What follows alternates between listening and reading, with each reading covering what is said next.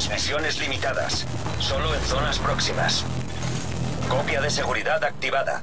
Sistema reiniciado. Muy buenas chavalada gente people, ¿qué tal? ¿Cómo estamos? Bienvenidos al canal, yo soy Zemtex, estamos en The Division y hoy vamos a hablar acerca de lo que ha sucedido durante los últimos días Mientras de fondo tenemos una pequeña sesión de zona oscura en solitario Justo después de publicar el vídeo de la semana pasada que os dejo por aquí, casualmente los desarrolladores de The Division publicaban un artículo en el que explican los siguientes pasos del juego respecto a los exploits y los tramposos. Respondían a preguntas en varios frentes y en los días sucesivos hemos sabido más cosas mediante retransmisiones en streaming y otros canales de comunicación. Bien, tema tramposos. Dicen los desarrolladores que están aplicando la oleada de baneos más grande de toda la historia del juego y que se ha establecido un ban de 14 días, 14 días para los tramposos en vez de 3 días como hasta ahora y un ban definitivo para los tramposos reincidentes que se aplica a las cuentas de juego, no a los personajes del juego. Este anuncio ha provocado que los tramposos hayan estado haciendo auténticas carnicerías indiscriminadas en la zona oscura, es decir, que la cosa ha ido en cierto modo a peor antes de mejorar, porque si haces trampa y sabes que los desarrolladores van a ir a por ti, te cebas con el mundo, porque sabes que vas a caer igualmente. Si todo esto se hubiese anunciado después de finalizar la oleada de baneos, las cosas hubieran ido de otra manera, segurísimo. En este sentido, ¿Es suficiente lo que están haciendo los desarrolladores? No, porque todavía quedan tramposos. Y además, dicen que el baneo definitivo a la primera de cambio no puede aplicarse por imperativo legal. Entonces pregunto, ¿Para qué sirve el contrato licencia de usuario final del que os hablaba en el vídeo que tenéis en el icono de la esquina superior derecha? Para nada, mientras exista una ley que la anula, que encima no se puede aplicar en todos los países por igual. Sin embargo, también dicen los desarrolladores que van a aplicar nuevos sistemas de detección de tramposos en breve, además de un nuevo sistema de denuncia más ágil, sencillo y transparente. Así que veremos qué ocurre. Más cosas. Se van a anunciar los fallos gráficos en forma de glitch para que quede constancia de que son exploits si así se consideran de forma oficial, con la intención de que no se usen para sacar beneficio propio, porque pueden implicar baneos.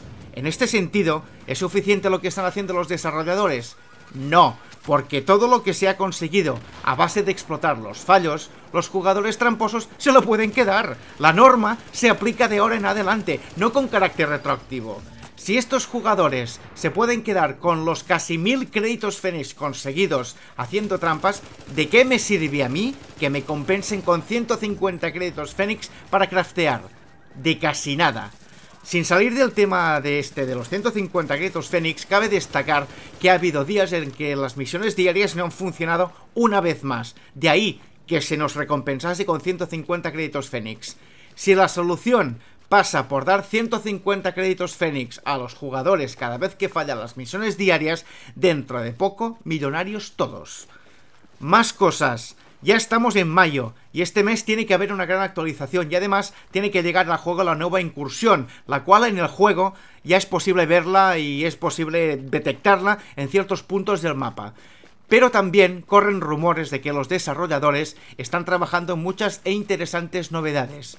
Por ejemplo, tienen intención de potenciar muchísimo el contenido PvE. Eso es debido no solo a que hay un gran porcentaje de jugadores que no quieren meterse en la zona oscura, debido a que el contenido de jugador contra jugador no les atrae, o bien porque es un campo de tramposos, dicho sea de paso, pero en cualquier caso dicen que el contenido de jugador contra entorno, para jugar en solitario básicamente, va a ser potenciado en gran medida.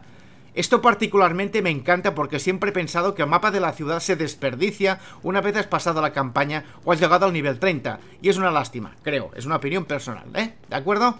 Bien, más cosas. Están corriendo fuertes rumores acerca del contenido en forma de recompensa en los enfrentamientos y en las misiones. Habrá más y mejores armas, habrá más y mejores equipos, habrá mayores posibilidades de conseguir piezas de alto nivel y en definitiva, los desarrolladores están trabajando en que la experiencia en The Division sea más satisfactoria para el jugador y menos frustrante de lo que ha sido hasta el momento.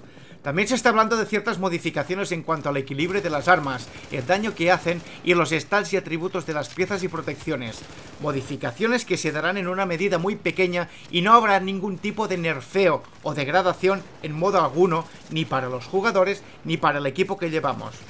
Todo esto y más cosas debería llegar en la actualización 1.2 que está en ciernes, que no tiene fecha de publicación, pero que se espera que sea dentro de muy poco. Hasta entonces, columna de comentarios a vuestra entera, enterísima disposición. Gracias por ver el vídeo seguir esta serie. Nos vemos otro rato. Hasta ahora.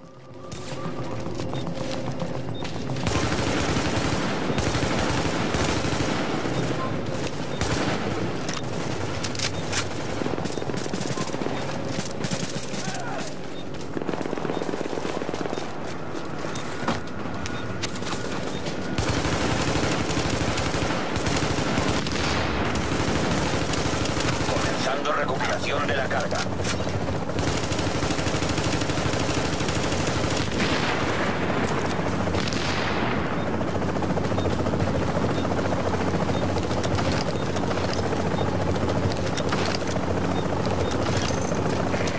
Tenemos el paquete. Paquete asegurado. Extracción completada.